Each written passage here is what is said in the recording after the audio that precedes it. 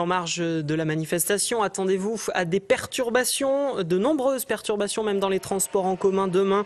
À Clermont, aucun tramway ne circulera de toute la journée. Les bus, eux, devraient circuler toutes les demi-heures sur les lignes B, 3, 4, 5 et 6. C'est ce qu'annonce la T2C ce soir.